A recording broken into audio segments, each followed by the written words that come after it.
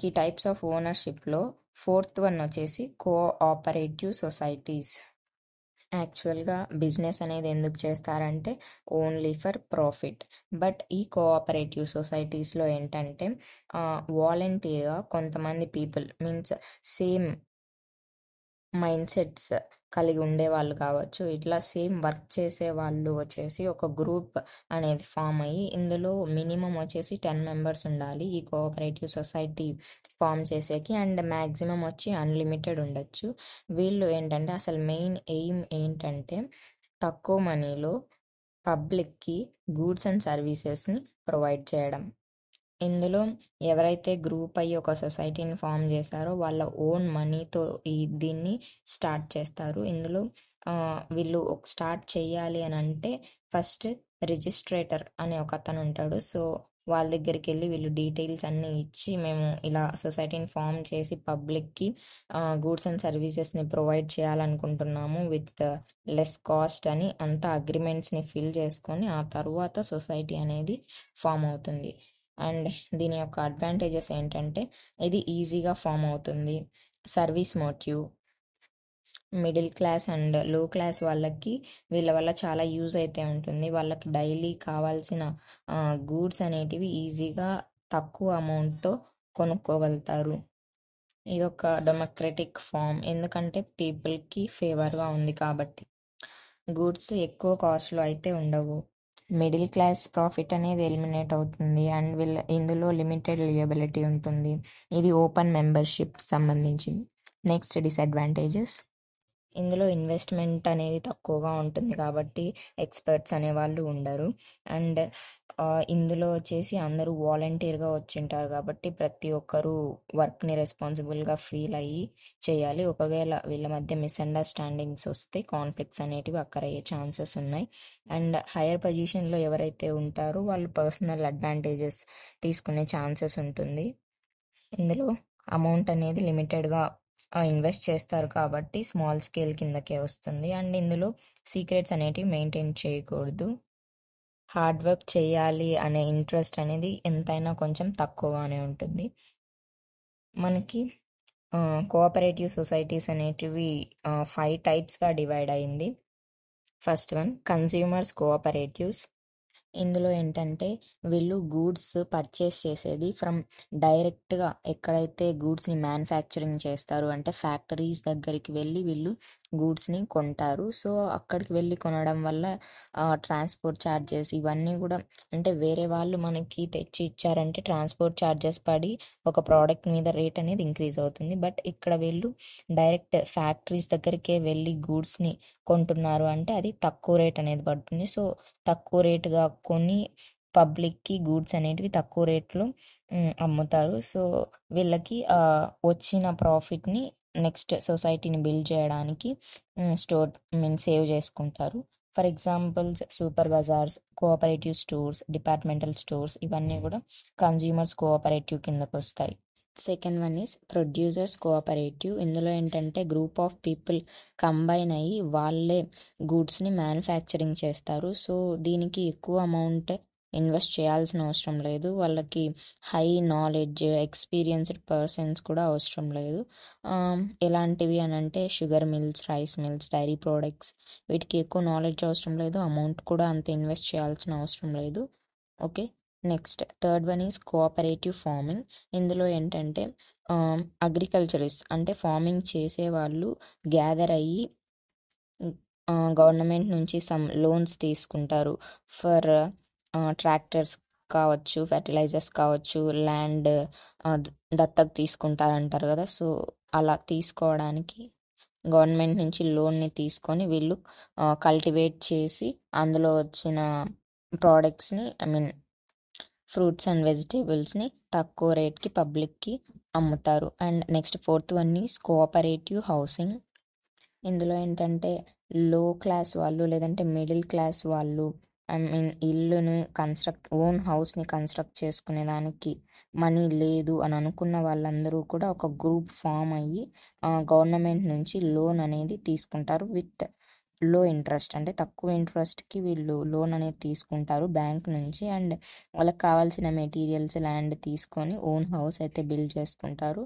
ఇందులో return interest అనేది twenty years long period ఉంటుంది. అంటే ట్వంటీ ఇయర్స్లో వాళ్ళు ఎప్పుడైనా కూడా మీన్ అంత లాంగ్ పీరియడ్ ఉంటుంది వీళ్ళు తీసుకున్న అమౌంట్ రిటర్న్ ఇచ్చేకి. గవర్నమెంట్ నుంచినే వీళ్ళు లోన్ అనేది తీసుకుంటారు. సో లోన్ అనేది తిరిగి కట్టకపోతే వాళ్ళ హౌసెస్ మీదకి అయితే రారు. సో ఇది cooperative housing. And next fourth one is cooperative credit society. వీళ్ళేంటంటే ఎవరి దగ్గరైనా అమౌంట్ తీసుకుంటారు. అంటే పూర్ పీపుల్ ఎవరైతే ఉంటారో సమ్ ఫార్మర్స్ కావచ్చు ఎవరికైతే మనీ నీడ్ ఉంటుందో వాళ్ళకు వీళ్ళు మనీ అనేది ఇస్తారు. విత్ తక్కువ ఇంట్రెస్ట్తో ఎవరికైతే మనీ నీడ్ ఉంటుందో వాళ్ళకి విత్లో ఇంట్రెస్ట్స్తో వాళ్ళకి మనీ అనేది వీళ్ళు ఇస్తారు. వీళ్ళని కోఆపరేటివ్ క్రెడిట్ సొసైటీస్ అంటారు. అండ్ నెక్స్ట్ టైప్స్ ఆఫ్ ఓనర్షిప్లో మనకి last one public sector organization. ఇందులో ఏంటంటే యాక్చువల్గా ప్రైవేట్ సెక్టార్స్లో మనకి ఎలా జరుగుతుందంటే కంపెనీస్లో ఉన్న ఎంప్లాయీస్ని సంథింగ్ ఇప్పుడు మనకి లిక్విడేషన్ అనే టర్మినాలజీ వచ్చింది కదా. ఇందులో ఏంటి? ఎంప్లాయీస్కి అమౌంట్ ఇవ్వలేనప్పుడు వాళ్ళు కంపెనీని క్లోజ్ చేస్తారు కదా.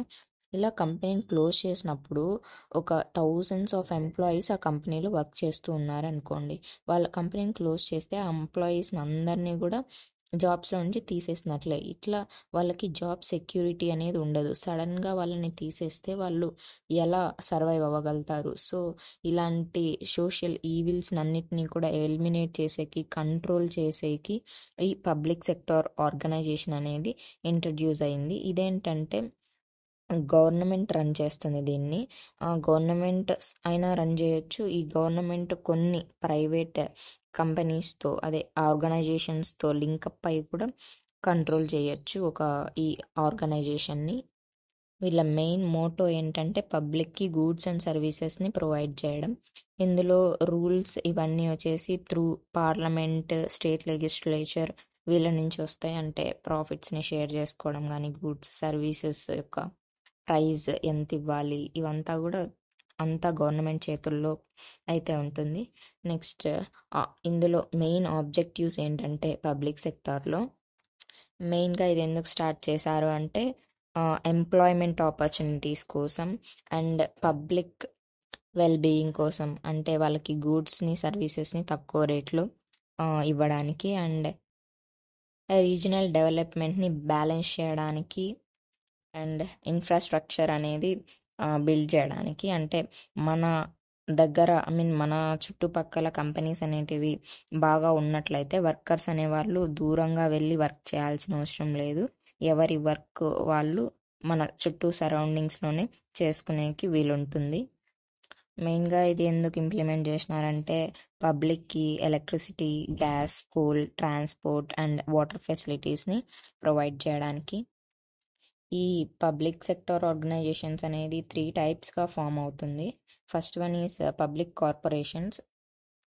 ఈ కార్పొరేషన్ అనేది ఫుల్గా గవర్నమెంట్ హ్యాండ్స్లో ఉంటుంది. Either state or uh, central government. దీన్ని స్టార్ట్ చేయడానికి ఫండ్స్ అనేటివి గవర్నమెంటే ప్రొవైడ్ చేస్తుంది. అండ్ ఇందులో ఎవరినైనా అపాయింట్ చేయాలి అని అంటే అది సివిల్ సర్వెంట్స్ హ్యాండ్స్లో ఉంటుంది. ఇందులో ఎటువంటి ప్రాఫిట్ అయితే రాదు. వర్క్ చేయాలి అని ఐ మీన్ సోషలి సోషలిజం అండ్ వర్కర్స్కి మన సర్వీస్ అనేది ఇవ్వాలి అనే మోటివ్తోనే వర్క్ చేయాలి. ఎటువంటి ప్రాఫిట్ని ఎక్స్పెక్ట్ చేయకూడదు. For example APSRTC life insurance corporations industrial finance corporations post and telegraphs railway ఇవన్నీ కూడా public corporations. And second format వచ్చేసి గవర్నమెంట్ బోర్డ్స్. ఇందులో ఏంటంటే కొన్ని కోఆపరేషన్స్ రన్ చేయడానికి మనకి బోర్డ్ పీపుల్ అయితే అవసరం ఉంటుంది. అదే government board people like ministers కావచ్చు లైక్ వాళ్ళ సపోర్ట్ కానీ మనకు ఉన్నదనుకో మనం ఏదైనా ఇంప్లిమెంట్ చేయడానికి భిన్న అవుతుంది. అంటే వాళ్ళు డెసిషన్ మీన్ డెసిషన్ తీసుకోవడం క్విక్గా జరుగుతుంది. అంటే మనం ప్రాసెస్ అనేది డిలే అవ్వదు. మనకేమైనా రైట్స్ సమ్ రిజిస్ట్రేషన్ వర్క్ ఇవన్నీ కావాలంటే బోర్డ్ ఆఫ్ గవర్నమెంట్ వాళ్ళ సపోర్ట్గానే ఉంటే మనం ఫాస్ట్గా చేయొచ్చు. Like Andhra Pradesh state electricity board APSEB and all India handloom board irrigation projects such as Bhakra control etcetera and next third one is government companies. ఇందులో ఏంటంటే స్టేట్ కానీ సెంట్రల్ కానీ గవర్నమెంట్స్ ఒక కంపెనీని స్టార్ట్ చేయడాన్ని మీన్ గవర్నమెంట్ కంపెనీ అని అంటున్నాం. ఇందులో వచ్చేసి నాన్ గవర్నమెంట్ వాళ్ళు కూడా మనీ అనేది ఇన్వెస్ట్ చేయొచ్చు. But at least fifty one percent అయితే గవర్నమెంట్ ఖచ్చితంగా ఈ కంపెనీని స్టార్ట్ చేయడానికి మనీ ఇచ్చిండాలి. ఇందులో board of directories private sector వాళ్ళు కూడా ఉండొచ్చు. బట్ ఇందులో ప్రాఫిట్స్ లాసెస్ మ్యానుఫ్యాక్చరింగ్కి ఎంత మనీ ఇన్వెస్ట్ చేస్తున్నాం ఇవన్నీ యాన్యువల్ రిపోర్ట్స్ మనం పార్లమెంట్కి లెజిస్ట్రేచర్కి సబ్మిట్ చేయాల్సి ఉంటుంది. For example Hindustan machine tools Bharat heavy elec electrical limited Indian oil corporations Hindustan aeronautical limited steel authority of India limited and electronic corporations of India limited ఇవన్నీ కూడా government companies కిందకి వస్తాయి. And